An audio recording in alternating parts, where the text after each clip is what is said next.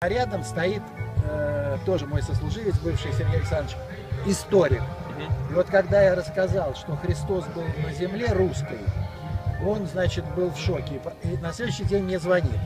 А выходной был следующий день. Говорит, Игорь Алексеевич, ну дважды у меня после встречи с вами были совершенно какие-то фантастические. Но то, что произошло сегодня, Это случай. я говорю, а что произошло? Он мне рассказывает.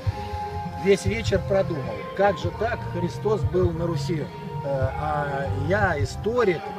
Я, говорит, все перелопатил, но с другой стороны, Ефимов сказал, вроде тоже не должна быть полная чушь.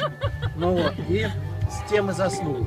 Утром просыпаюсь, говорит, стоит э, полка с книгами у кровати. Но иногда утром балуюсь там, э, протягиваю руку, не глядя, беру первую попавшуюся книгу, раскрываю ее случайным образом, бросаю случайным образом на первый попавшийся абзац и читаю.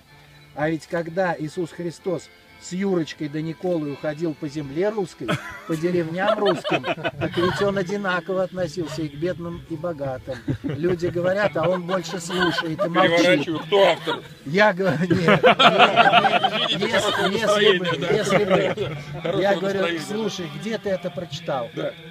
Максим Горький, рассказ Калинин.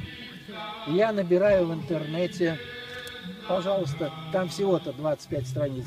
В конце вот эта фраза. Ну вы представляете, почему наука не может понять вот эти вещи? Потому что наука подменила тезис практика критерий истины. Вот она практика. Человек задался вопросом, обратился к Богу, Бог ему утром дает ответ.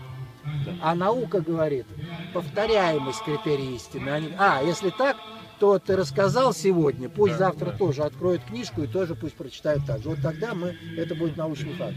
Вот в чем проблема науки. Наука никогда не поймет вот эти божественные вещи, Совершенно согласен. потому что она пытается повторить, а Бог, он никогда не повторяется. Да, да, вот. Меня Так отец что- с удовольствием на эту тему